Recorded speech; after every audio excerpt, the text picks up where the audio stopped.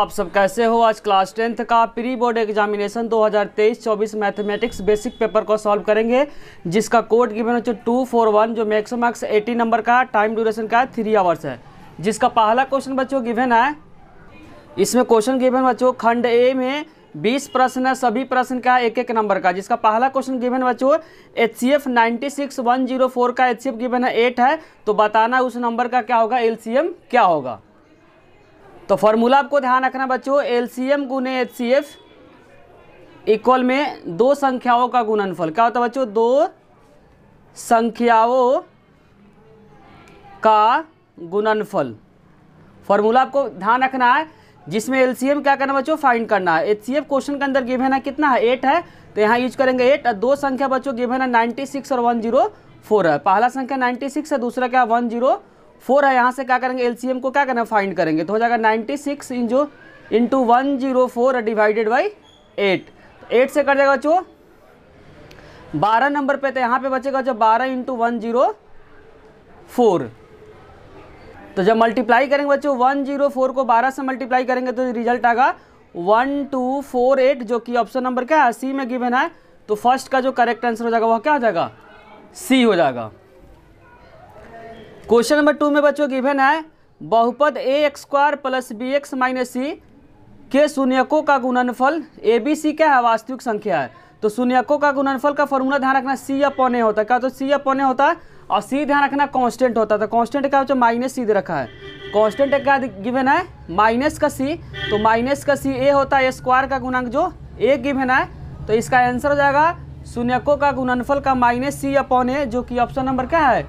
B में given है। तो सेकेंड का जो करेक्ट आंसर हो जाएगा, वह क्या हो जाएगा? बी हो जाएगा, क्योंकि यहाँ पे कांस्टेंट बच्चों माइनस सी में गिवेन है। तो इसका आंसर करेक्ट हो जाएगा बच्चों B minus C upon A question number three में बच्चों गिवन है, एक द्विघात समीकरण three X square minus six X plus one का विभक्तर क्या होगा? जिसको इंग्लिश में बोलते हैं डिस्क्रिमिनेंट जिसका फॉर्मूला आपको ध्यान रखना चाहिए डी इक्वल में होता है बी ए स्क्वायर माइनस का फोर ए सी बी होता है एक्स का गुणांक जो माइनस का सिक्स है का whole square minus four A होता है स्क्वायर का गुणांक जो थ्री है, और सी है बच्चों वन तो सिक्स का स्क्वायर क्या हो जाएगा? थर्टी सिक्स चार को तीन से मल्टीप्लाई करेंगे तो ट्वेंटी फोर तो छत्तीस में से जब चौबीस को माइनस बारह को माइनस करेंगे बारह आएगा बच्चों, चार तीन बारह.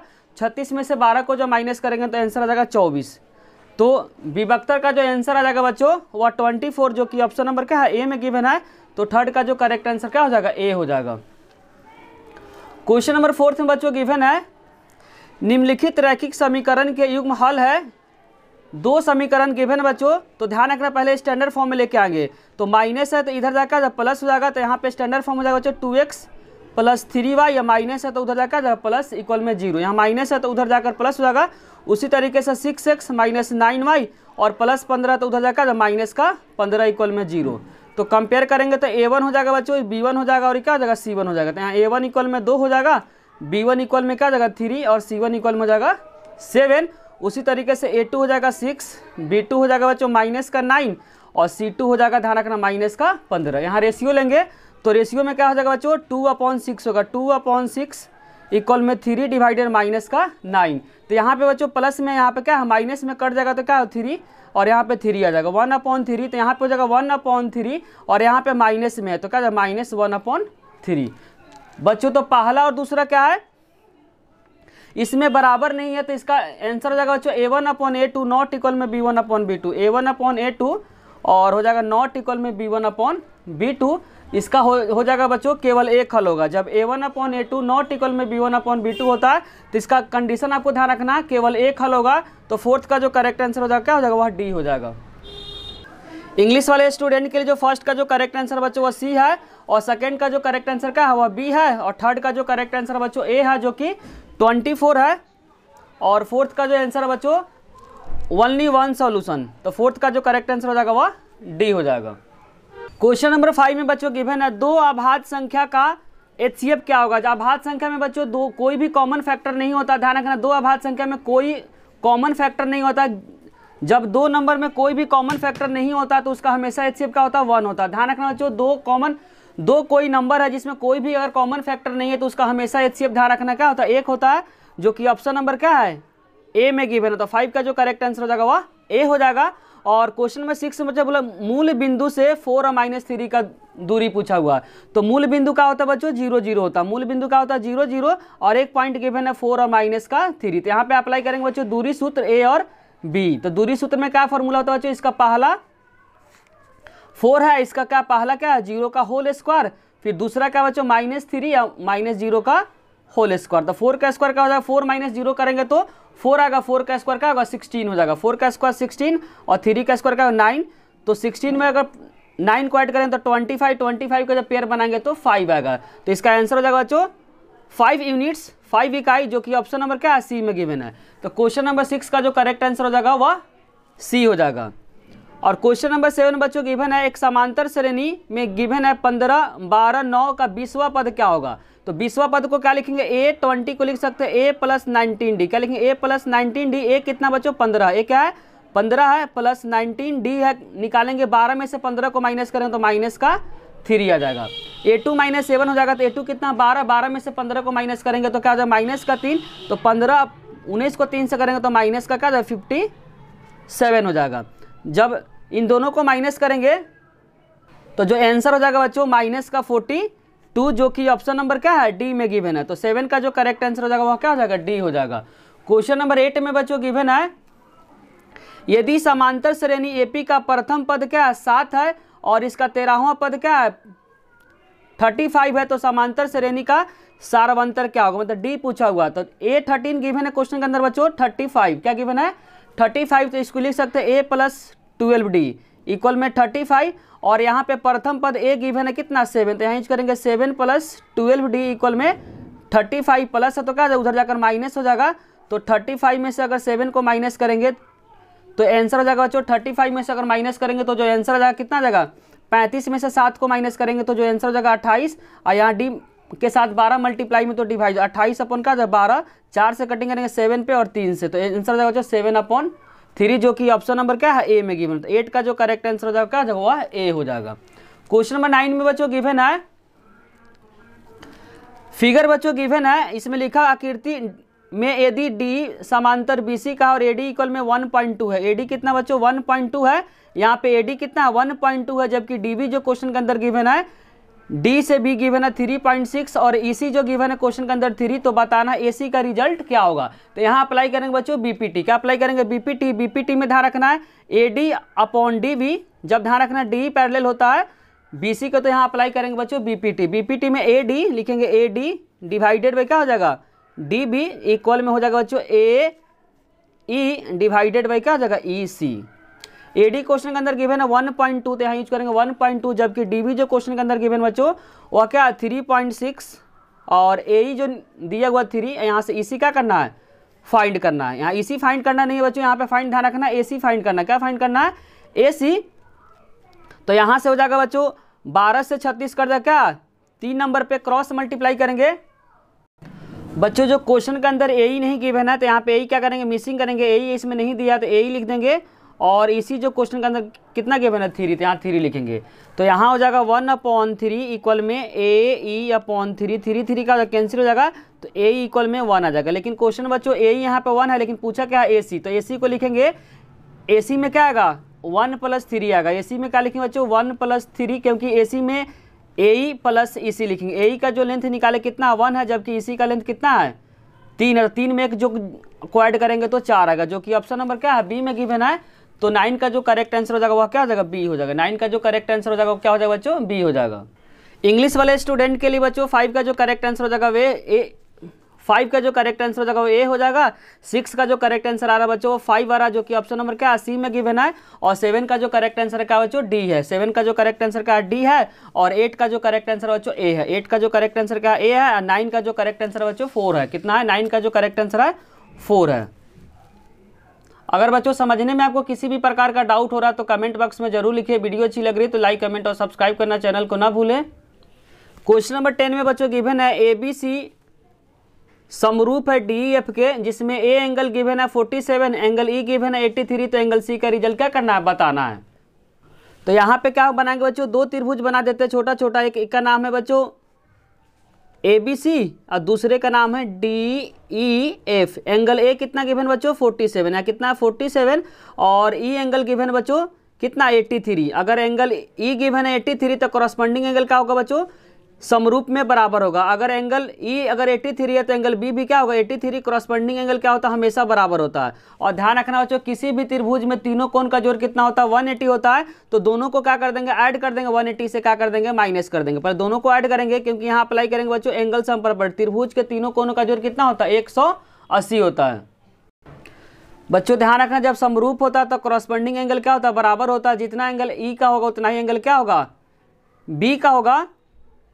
और यहाँ पर अप्लाई करें एंगल सम प्रॉपर्टी दोनों कोनों को तीनों कोनों को जोड़ के 180 करेंगे। तो तीनों को जोड़ेंगे तो क्या आएगा बच्चों? एंगल ए एंगल बी और एंगल सी का जो ज़ोर होगा वो कितना होगा? 180 होगा। Angle A plus angle B angle C का ज़ोर होगा 180 एट्टी यहाँ पे अप्लाई किया बच्चों त्रिभुज के तीनों कोनों का जोड़ 180 ए एंगल कितना? 47 जबकि बी एंगल है बच्चों कितना? 83 और एंगल सी यहाँ से क्या कर लेंगे? फाइंड कर लेंगे। तो जब इन दोनों को ऐड करेंगे तो सात, तीन, दस, आठ, चार, बारह, एक, तेरह। तो यहाँ एंगल सी हो जाएगा बच्चों। एंगल सी का जब रिज़ल्ट निकालेंगे तो one eighty minus one thirty तो आंसर हो जाएगा बच्चों फिफ्टी डिग्री तो क्वेश्चन नंबर टेन का जो करेक्ट आंसर हो जाएगा वह बी हो जाएगा। क्वेश्चन नंबर इलेवन बच्चों गिवन है साइन तीस और कॉस सिक्सटी का क्या रिज़ल्ट बताना तो साइन तीस का रिज़ल्ट आपको ध्यान रखना वन बाई टू होता है, जबकि कॉस सिक्सटी का जो रिज़ल्ट होता है वो भी होता है वन बाई टू होता है। तो one by two, one by two को मल्टीप्लाई करें तो वन बाई फोर आएगा, जो कि ऑप्शन नंबर क्या है? ए में गिवन है। तो इलेवन का जो करेक्ट आंसर हो जाएगा वह ए हो जाएगा।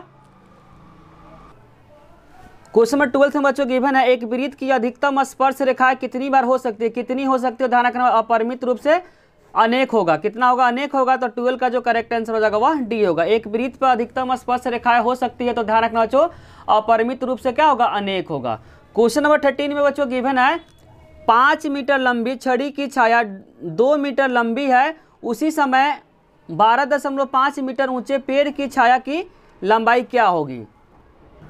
बच्चों, क्वेश्चन बोला पाँच मीटर का लंबी है, यहाँ पे पाँच मीटर मान लेते हैं, पाँच मीटर लंबी है तो उस समय जो परछाई बनना है, कितना है? दो मीटर बनना है। कितना बनना बच्चों? दो मीटर। यहाँ पे बन जाएगा एक त्रिभुज बनना। उसके बाद आगे बोला हुआ बच्चों बारह दशमलव पाँच मीटर अगर होगा, बारह दशमलव पाँच मीटर ऊँचा पेड़ की छाया की लंबाई क्या करना बताना है। अगर बच्चों, पेड़ का जो ऊंचाई है कितना हो जाता है, बारह दशमलव पाँच हो जाता है तो उसमें बताना क्या उसका परछाई कितना होगा। ये वाला हाइट जो गिवन है बच्चों, बारह दशमलव पाँच है। कितना है? बारह दशमलव पाँच। तो यहाँ पे अप्लाई करेंगे बच्चों सिमिलर ट्रायंगल एक छोटा वाला, एक बड़े वाला त्रिभुज को क्या करेंगे? सिमिलर करेंगे, उसके बाद क्या करेंगे? साइड का रेशियो ले लेंगे आंसर आ जाएगा। छोटे वाले त्रिभुज में बेस कितना बच्चों दो है। छोटे वाले में जो बेस कितना है? दो है। और बड़े वाले में क्या कहना है? पर छाया का लंबाई निकालना है तो एक मान लेते हैं। कितना एक साथ एक से ले लेते हैं। फिर छोटे वाले में कितना बच्चों जो हाइट है वो कितना है? पाँच है। और बड़े वाला का हाइट कितना है? बारह दशमलव पाँच है। बारह दशमलव पाँच है। पॉइंट के बाद एक नंबर है तो एक ज़ीरो ऊपर चला जाएगा। पाँच से ऊपर नीचे कटिंग करेंगे तो पाँच से कटिंग हो जाएगा बच्चों दस नंबर पर पाँच से कटिंग करेंगे तो पच्चीस नंबर पर क्या कैंसिल हो जाएगा। फिर पाँच से करेंगे पाँच दूना दस और पचास, पच्चीस। दो से दो क्या हो जाएगा बच्चों? कैंसिल हो जाएगा। तो यहाँ से जो एक्स का जो रिज़ल्ट आ रहा है बच्चों, पाँच मीटर है। एक्स का जो रिज़ल्ट आएगा पाँच मीटर, जो कि बच्चों ऑप्शन नंबर क्या है? डी में गिवन ऑप्शन नंबर क्या है? डी में गिवन है। तो थर्ड थर्टीन का जो करेक्ट आंसर हो जाएगा, क्या हो जाएगा? डी हो जाएगा। यहाँ पे अप्लाई किया बच्चों सिमुलर ट्रायंगल का कॉन्सेप्ट और क्वेश्चन नंबर फोर्टीन में बच्चों गिवन है। Tan square forty five minus cos square sixty degree का रिज़ल्ट बताना तो टेन फोर्टी फाइव का रिज़ल्ट आपको ध्यान रखना वन होता। है कितना होता है वन तो यहाँ वन का स्क्वायर कर देंगे। और कॉस सिक्सटी का रिज़ल्ट आपको ध्यान रखना वन बाई टू होता। है यहाँ स्क्वायर है तो स्क्वायर के फॉर्म में क्या करेंगे? लिखेंगे। तो वन का स्क्वायर तो वन हो जाएगा वन बाई टू का स्क्वायर वन बाई फोर हो जाएगा। यहाँ एलसीएम से सोल्व करेंगे बच्चों तो यहाँ पर हो जाएगा फोर इधर फोर आ cross multiply four minus one तो थ्री अपॉन का जब फोर हो जाएगा। तो जब इसको सॉल्व करेंगे सॉल्व करने का जो आंसर आ रहा है थ्री अपॉन फोर आ तो फोर्टीन का जो करेक्ट आंसर हो जाएगा, वह क्या हो जाएगा? सी हो जाएगा।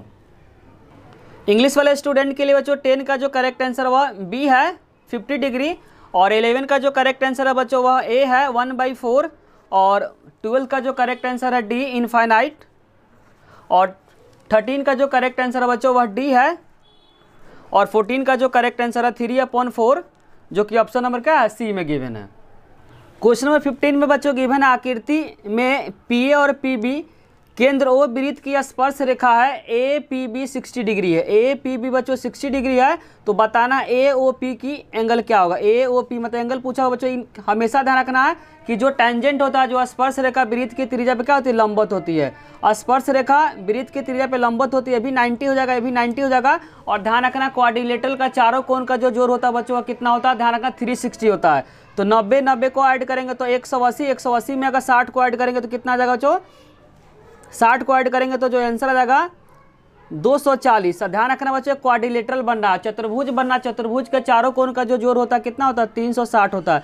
तो 360 में से 240 को क्या कर देंगे? माइनस करेंगे, जो आएगा वहीं क्या होगा? आंसर हो जाएगा। तो यहाँ ज़ीरो में से ज़ीरो, छः में चार गया तो दो, एक सौ बीस आ रहा कितना आ रहा बच्चों? एक सौ बीस आ रहा है। तो एंगल हो जाएगा ए O P A O B का जो एंगल आ रहा है, कितना? वन ट्वेंटी जो कि ऑप्शन नंबर क्या है? ए में गिवन है। तो फिफ्टीन का जो करेक्ट आंसर हो जाएगा, क्या हो जाएगा? वह ए हो जाएगा।